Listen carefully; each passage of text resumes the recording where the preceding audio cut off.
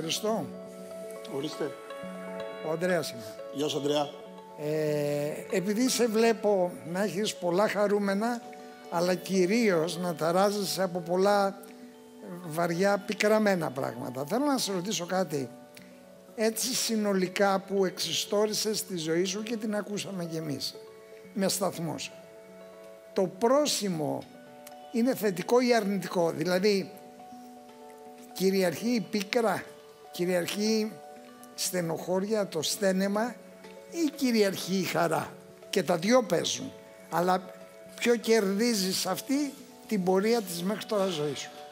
Ανδρέα, να σου πω με πάρα πολύ ειλικρινία που με διακρίνει. Εγώ με τους γονείς μου ήμουν πάρα πολύ δεμένος. Είχα μία μάνα που ήμουν πάρα πολύ ερωτευμένος μαζί της, εισαγωγικά μάνας και γιου. Το ίδιο και με τον πατέρα μου. Όταν τους έχασα, έχασα τη γη από τα πόδια μου. Όλο τον κόσμο. Όμως, αυτά τα πράγματα συμβαίνουν σε όλους.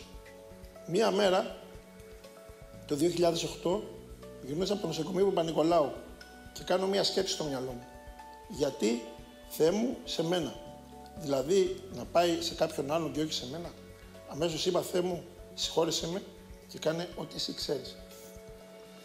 Το ότι, το ότι έχασα και τους δυο μου γονείς, θεωρώ ότι ήταν μια μεγάλη δοκιμασία για μένα. Επίσης, θεωρώ θείο δώρο, το απέκτησα, ότι απέκτησα με. Ναι, ναι. Γενικά είσαι, μπορώ να πω, ε, Ναι, άμα, ναι. άμα, ε, θε- πρέπει να σε περιγράψω σε κάποιον ένας πικραμένος άνθρωπος ή ένα χαρούμενο άτομο.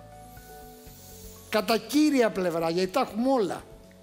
Η κύρια πλευρά σου, κατά τη γνώμη σου, τι είναι; Ένας θλιμμένος άνθρωπος. Ένας, Θλιμμένος άνθρωπος. αυτό, αυτό. Είσαι θλιμμένος. Δηλαδή, οι πληγές που έχεις, τις έχεις διαπραγματευτεί, αλλά δεν τις έχεις ξεπεράσει. Δεν τις έχω ξεπεράσει. Σε καθορίζουν. Με καθορίζουν και με έχουν κάνει υ- υπερευαίσθητο.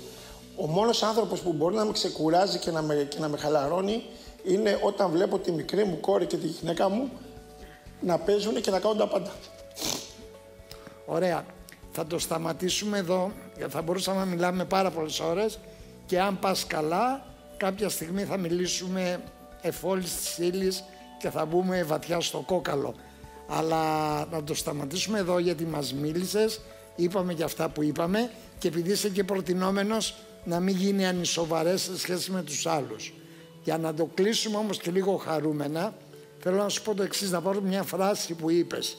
Είπα στη γυναίκα μου, λες, ότι εάν βγω στις εκλογές θα την παντρευτώ. Ναι. Ψηφοθυρία από πολιτικούς έχω ακούσει με διάφορα πράγματα. να τα ζυγά μου άλλος για να του φέρει ψήφους Ανδρέα, επειδή σε είδα η Ανδρέα. γυναίκα σου την έβγαλες στις πλατείες φέρτε ψήφους για να έχω γαμπρό. Όχι. Πλάκα κάνω, έλα.